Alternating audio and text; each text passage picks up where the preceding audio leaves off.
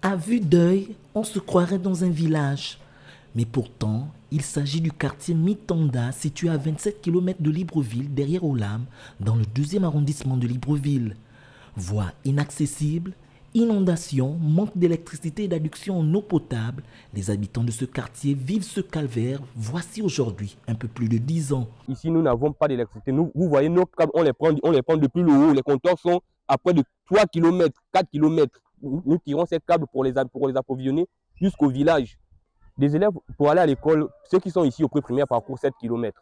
Et ceux qui sont au secondaire, ils parcourent plus de 7 km parce que d'autres apprennent à Bikele, d'autres apprennent en Toul. La vie est d'autant plus difficile pour ces populations qui, pour aller à l'école, se soigner ou trouver de l'eau potable, doivent parcourir plusieurs kilomètres à pied.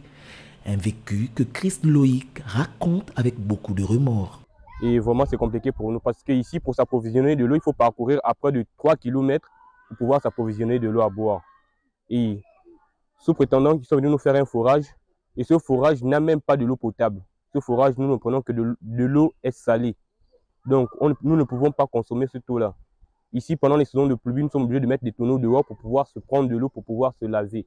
Ou encore des puits. Les autorités de la transition sont une fois de plus appelées au secours. Face à cette impasse, nous sommes contraints de faire appel à votre autorité et celle de votre gouvernement pour qu'une solution soit trouvée urgemment pour espérer à retrouver nos conditions de vie normales. Épuisés par les dépôts de demandes d'aide ici et là pour améliorer leur quotidien, le collectif des habitants de Mitanda compte cette fois sur le nouveau gouvernement pour l'extension du réseau de distribution en électricité et d'adduction en eau potable dans les meilleurs délais pour retrouver leur joie de vivre.